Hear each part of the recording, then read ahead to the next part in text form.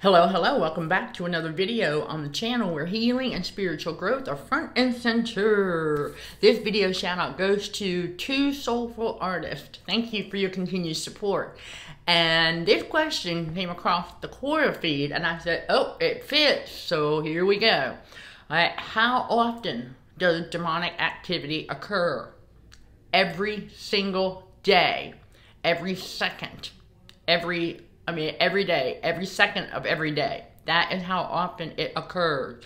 This is why we got to get really good at armoring up. Yes, with the armor of God. And then really let, let God develop that discernment so that we can tell when one of the negative thoughts is trying to creep in there and we tell it to take a hike. Okay? It, yes, remember, you know, they've said that the enemy is the prince of the air Okay. However, is he in? Is he in here? No. Uh-uh. Not not with not with us. okay. I've already done the rebuking. You know, uh, once I I'll share a little story with you all. I did an IG reel and yeah, playing back the audio, I realized that there was a presence. I said, ah, okay, I got to get rid of that. And so it's gone. okay? Because I was like, oh no, no, no, no, enemy, you are not gonna get up in here. Mm-mm. No. Alright, we re rebuke in the name of Jesus.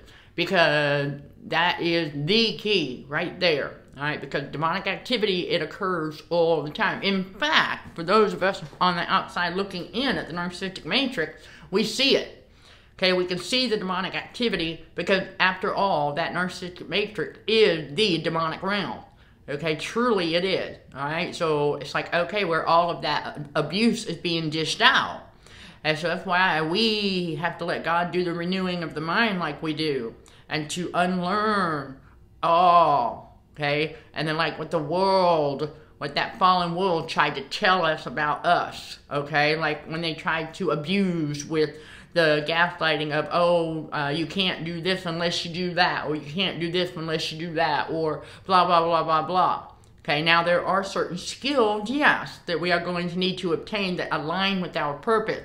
Right, and so we go, right, we go and grab them, grab them out, you know, grab the skill, and you know, and what we need, right, to do the perfect will of God in God's reality, okay, but yes, it's kind of, the, the same concept of going you know, to the grocery store and you are going to pick out, you know, the certain ingredients for a particular recipe or a dish that you want to make for those of you who cook, okay? And it's the same concept. When we get into God's reality and we get into our purpose, okay, and, and we are figuring out, okay, what's, what, how does this, is this gonna align? That we're, we're picking out the ingredients Okay, for example, all right, the devices that we've obtained, okay, here and there. Those are the ingredients, okay? Yes, for the purpose. All right, so there's a way to look at it, all right? And I know that, you know, your chef will appreciate that. I'm the spiritual chef. I do cook, yes, obviously, but I'm a spiritual chef, okay? We're getting, getting God's spiritual truth to you all because we realize, and, and, and even though we've got to navigate through the fallen world to get those ingredients, the tools, okay, that we need to do God's perfect will, all right, we're watching what's going on, okay, in that narcissistic matrix. And it is nothing but all that abuse that's being dished out the slander, the gossip, the discord, the strife, the envying, all of that it's going on on a daily basis. Oh gosh, all the time. And it's being dished out, you know, from not, you know, on the societal level. And then so these narcissistic abusers pick it up and they start dishing it out on the individual level. See, that's how it works. Okay, that demonic activity is the narcissistic abuse in, in, in a lot of ways. Now, we're not, and yes, there's other ways that demonic activity takes place. Absolutely, 100%. That would be anything that had to do with witchcraft. And we do not participate. Okay, you all, we do not participate. We follow God's word. We are obeying God. We are not into what the world thinks spirituality is. No. We know darn well what spirituality truly is. Right, and that is being with the Godhead. That's it. It's that simple. Okay. Yeah, there's a lot that goes into it, but it's that. That's, that's what it truly is. Okay. It's not any of that stuff that that the world has labeled as spiritual. No. All right. No. No. No. No. No. We do not do that. All right. God tells us specifically not to do that. So of course, naturally, the enemy is going to trick a lot of people into actually doing it, thinking that that's spiritual. No, that's not the spirit world. Okay, that's um, that's not the spiritual realm. No, okay. The spiritual realm, you know, it, it's your thoughts. It, the you know, the kingdom of God is the mind. That's why we learn. We got to be mindful of our own thoughts, what we tell ourselves. We have to unlearn negative self-talk. Okay. So that's yeah, because that negative self-talk, that's demonic, you all. Remember, anything negative, okay, that's from the enemy. So it's gonna be demonic. Negativity is demonic. It's not, you know, we're not that's not how we're supposed to live our lives, you know, thinking that way. No. Uh, uh, uh. That's how the enemy thinks. That's how he tricked the narcs into thinking. All that negative stuff. Negative, negative. And that also tricked them into expecting the worst. Always walking out there uh, expecting the worst. Mm-mm. We've got to unlearn that.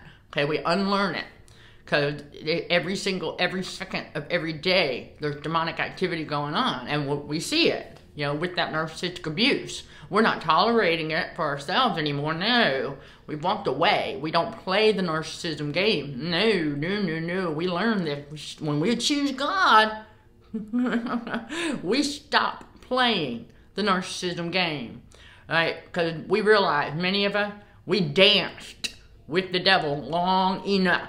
Okay? So when we get with God, all right, get with Jesus, get with God, and we stay. Remember, we have that choice to make. Every single human being had this choice to make, all right, on God's time. And we all, only we know, okay, between us and God, okay, when that had happened. When we got that final trumpet call and we had to make a choice. Did we want to stay where we were, or we want to go with God. We chose God. Chosen one, choose God. Okay? I mean, it's just, it, it that's a no brainer. Right? we choose God. And once we do that, yes, okay, God does some more preparation. Okay? So to help us unlearn all of the old ways that are very demonic. Okay? Many of us didn't realize we had those narc fleas just clinging there and they were trying to get in the subconscious. Okay, that's just, that's where the enemy does it. All right, and remember, you know, God also tells us that we've got to diligently guard our hearts. Okay, it doesn't. It's not walking on eggshell. It's like I've said in a previous video because what happens, chosen ones, that we armor up and we are God's soldiers. All right, we are standing like on the outside of the kingdom of God to protect the mind, okay? So we watch out for those subliminal messages that are designed by the enemy to try to get in there and trick us into believing his lies. And we don't do that. Mm-mm, no. Because those subliminal messages are also through, you know, how the world tried to tell us about ourselves, what they tried to tell us that we, right, yes, okay, uh, tried to tell us this is what was wrong with it. Listen, y'all, there ain't nothing wrong with you. No, you're not broken. I'm going to bring that back right here in this one to remind y'all of that. No, you're not broken. See, that's how the narcs think. Okay, that is, oh man, that is a vulnerability that the enemy loves to get people into thinking that they're broken. You're not broken. No, no, no, no. You can be healed. Okay? Yes, you can be healed. You're not an object. No. Right? You're not an object. Narcs are the ones that view human beings as objects. No. You're not. You're not broken, you are hurting, and that's natural. Okay, we all have to go through those stages of the healing process. Alright, so it's like when survivors come to me, you know, in a session, I know they're coming to me hurting and, and confused and trying to make sense of everything that just happened. Because I know they themselves are not broken.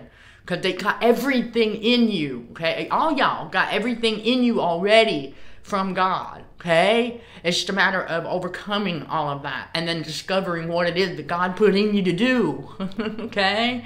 Uh, so, but you have to take us through the necessary healing stages, okay? So that we get over that trauma, right? From all of that demonic activity, all right, that was taking place. All that narcissistic abuse and all of that. So we overcome that, okay, because it does, it occurs every single day, every second.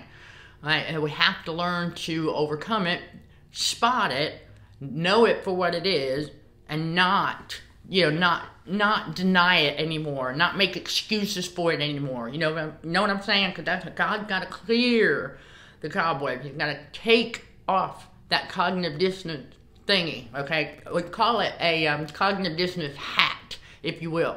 So God lifting that, and so we can get our clarity. All right, get the clarity back, the logic and the reasoning and things like that.